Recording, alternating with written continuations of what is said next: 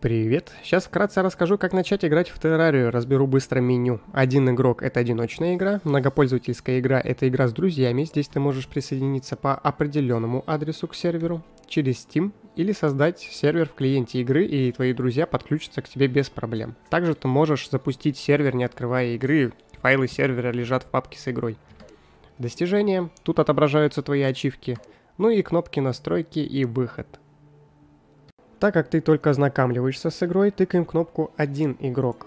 Это окно выбора персонажа, у тебя их здесь, возможно, не будет. Не беда, создадим. Нажимай на кнопку «Новое». Открывается настройка внешнего вида персонажа. Тут ты разберешься сам, ничего сложного. Когда закончишь, нажми на кнопку «Создать». Здесь нужно написать имя. Я для примера напишу ЗЗЗ. Это имя также будет отображаться в онлайне. Потом на кнопку «Подтвердить» и вуаля. Теперь он в списке персонажей с краткой информацией о себе. Нажимаем на маленькую кнопку «Играть». Теперь мы выбираем со созданный игровой мир. Ну, тут, скорее всего, у тебя тоже будет пусто. Ничего не сым. Нажимаем на кнопку «Новое». Выбираем размер мира. Я рекомендую средний. Далее тебя встретит выбор сложности. Ну, если ты это смотришь, то выбор очевиден, конечно, обычная. В игре присутствует такая механика, как порча. Э, она расположена на карте и заражает землю. Здесь на вкус и цвет товарищей нет, поэтому я тыкну случайно. Также вписывай название мира. Я напишу, опять же, ЗЗЗ для примера. Потом на кнопку «Подтвердить». И пошел процесс создания мира. Он длительный, я этот момент обрежу на видео. После создания мира он появится у тебя в списке. Тыкаем кнопку «Играть». И пошла загрузка игрового мира. Ну чё, добро пожаловать в игровой мир Террарии. Что тут по интерфейсу? В игре свободный курсор. Сейчас на стоп-кадре я тебе расскажу про интерфейс Terraria.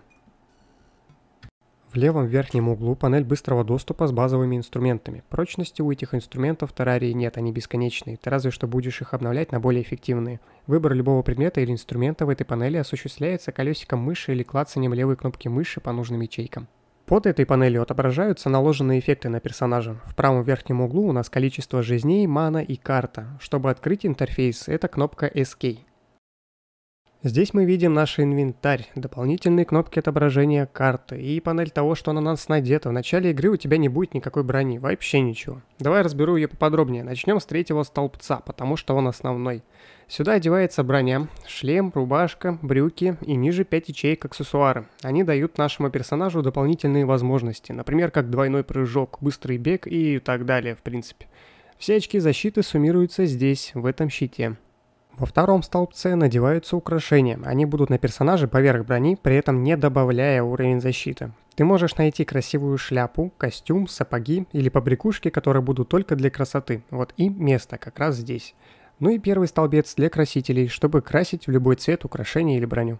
Чуть выше режим камеры. Дом. Тут отображаются все дружественные торговые NPC и кнопка «Экипировка». Нажав на нее, ты поймешь, что она для дополнительных ништяков, такие как питомец, светящийся питомец, вагонетка, транспорт, крюк-кошка. Ну и на этом вроде все. Так же, как броню, их можно красить. Левее от инвентаря накопленные деньги с мобов и амуниция. Сюда ложится боевой запас типа стрелы или патроны. Приступим к самой игре. Управление обычное, на ВСД, для прыжка пробел. В начале игры ты появляешься четко по центру игрового мира, но мир не бесконечен, этого пространства тебе в принципе должно хватить. Срубим наше первое дерево. Выбрав топор и наведя курсор на центр ствола дерева. Все супер, первое дерево есть. Если не хочешь оставлять пустырь на месте срубленного дерева, можешь посадить желудь, и со временем вырастет новое. Чтобы это сделать, выбирай нужный предмет, в нашем случае это желудь, наведи курсор на место посадки и тыкай левую кнопку мыши. Готово. В начале игры самые первые твои противники это будут слизни. Они особой угрозы не представляют, но зато кусаться умеют. Погуляй по миру, осмотрись и найди место для своего дома. У меня оно будет примерно здесь, поэтому магией монтажа мы сейчас быстро расчистим себе место. Теперь, когда все устраивает, научимся строительству. Первый дом пусть будет деревянный. Выбираем дерево, наводим курсор на то место, куда мы хотим его разместить и ставим. Таким образом создаем себе комнату. Готово. Все вроде хорошо, но вот только дом у нас какой-то прозрачный.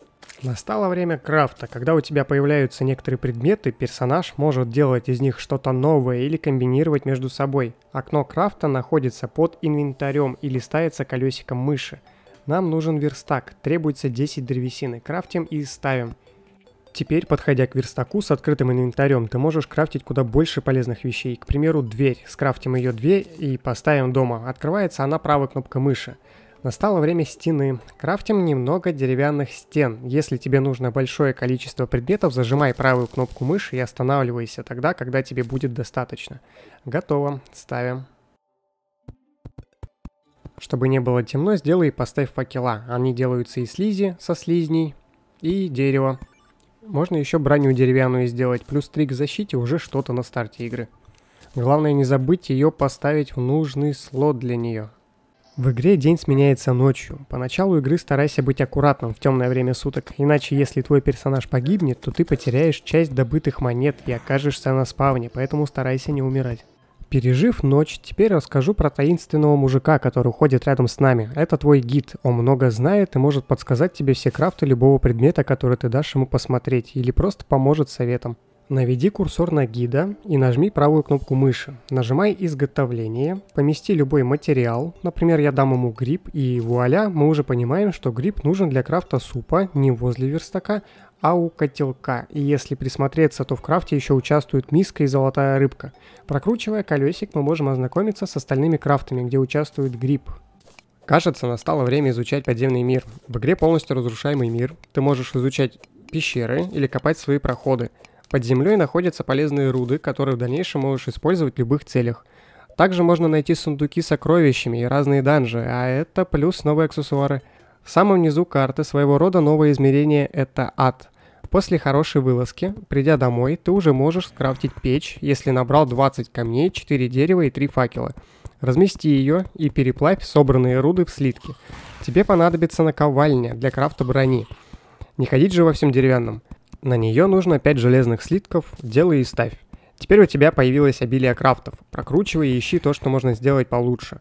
Ну вот, обновили инструменты. Чтобы кататься по железной дороге в пещере быстрее, можно сделать себе вагонетку и поставить ее в слот для вагонетки в разделе «Экипировка». В игре есть разные боссы, рыбалка, питомцы, железные дороги и много-много-много всего интересного. Ну что, дальше играй сам. Если хочешь поиграть с другом, тут тебе лень объяснять ему все, скинь ему этот ролик, я все сделаю за тебя. Помощь пусть будет тебе Википедия. Прогугли торговцев. Э, кто такие торговцы в игре? Э, загугли за рыбалку. Загугли... Да, много что еще можно погуглить. Я объяснил, в принципе, очень-очень-очень маленькую часть. Но э, это вступительная часть. Тебе этого должно, в принципе, хватить, чтобы просто, просто тупо начать играть э, без каких-либо проблем. Этот ролик я перезаписываю в связи с тем, что старый стал технически неактуален. Э, как-никак старой обучалке 7 лет, а ее до сих пор смотрят. В скором будущем я ее скрою, оставив доступ по ссылке, потому что есть эта обучалка более современная. Ну и на этой ноте я, пожалуй, закончу.